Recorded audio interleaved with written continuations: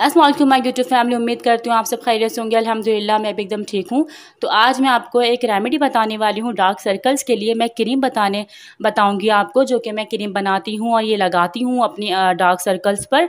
और इसे कितनी मरतबा लगाना है, कैसे लगाना है, और वाकई में यकीन करें, ये हंड्रेड परसेंट वर्क करती है आपके डार्क सर्कल्स पर तो इन आपको ज़रूर इससे फ़र्क पड़ेगा। बस आप तरीका जान लीजिए, कैसे बनती है, कब लगाना है और इसे कब तक स्टोर करना है। ये एक मैजिकल जो है क्रीम है डार्क सर्कल्स के लिए आपको महँगे महँगे ट्रीटमेंट या महँगे महँगे क्रीम्स लगाने की ज़रूरत नहीं पड़ेगी इन आप तो इसे बनाना कैसे? सबसे पहले हमें चाहिए एलोवेरा जेल हाथ आधा चम्मच।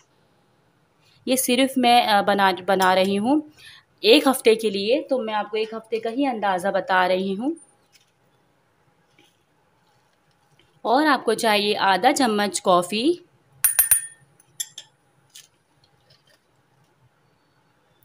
अच्छी तरीके से इन दोनों चीज़ों को हम मिक्स करेंगे। और प्लीज़ मेरे चैनल को सब्सक्राइब कर दीजिए बेल आइकन को प्रेस कर दीजिए, कि आने वाली हर वीडियो आपको मिल सके।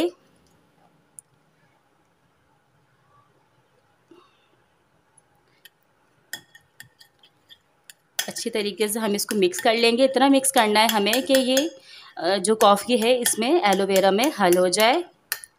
ये आपको लग रही होगी कि ये कम है, ये कम नहीं है।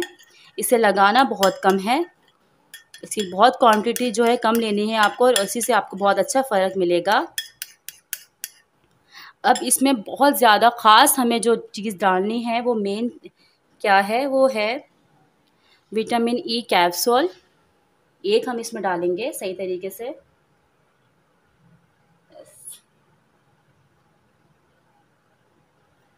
और फिर अच्छे तरीके से हम दोबारा से इसे मिक्स कर लेंगे। आपको इसे एक हफ़्ते के लिए ही स्टोर करके रखना है। क्रीम हमारी रेडी हो चुकी है। हम इस तरह के कोई भी आपके पास कंटेनर हो, कुछ भी इस तरह से आप उसमें डाल के रख लीजिए, क्योंकि ये आपको ढक्कन लगा कर अच्छे तरीके से एयर टाइट में रखनी है। अच्छे तरीके से आप निकाल लीजिएगा और इस तरीके से इसमें रख दीजिएगा, ठीक है?